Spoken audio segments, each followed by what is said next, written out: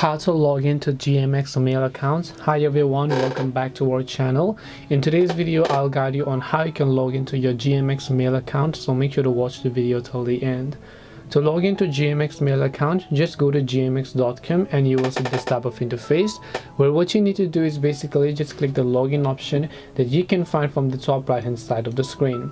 Once you find the login option from the top right hand side, all you have to do is you need to log into your SSL by simply entering your email address and also make sure to enter your password.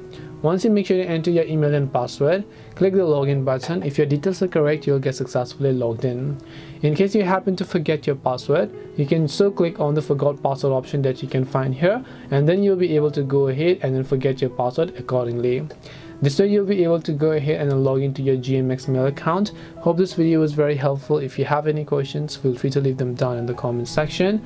Thank you for watching till the end of this tutorial and see you soon in the next video.